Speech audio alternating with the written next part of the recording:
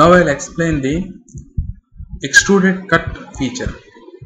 So extrude feature is used to add the material and extruded cut feature you can use to remove some part of the material from the solid. So here I want to create a polygonal slot or polygonal through hole on this particular surface. So here what you can do is instead of creating a work plane. Here directly you can use this surface as a sketch plane. Okay. So here to use this as a work plane or sketch plane you right click on this surface and select a sketch. Then automatically a new sketch is created here. Now this surface is in the top plane. That means in the top view you can see this surface. So select the top view okay top is something like this. So here I will draw polygon.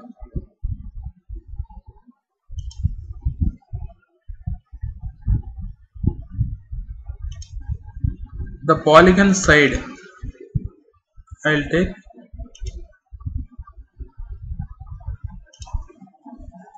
Some 10 mm polygon side is some 10 mm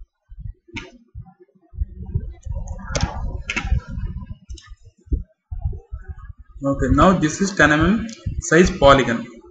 So I am drawing on hexagon here. Okay dimensioning is done successfully. Exit from the sketch.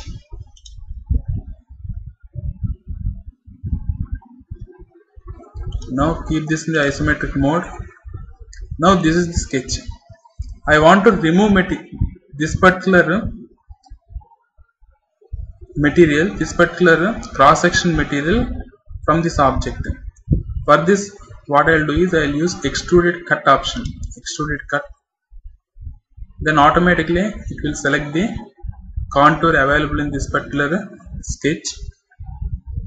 Now here different options are there. You can enter the depth to remove the material. That is one option.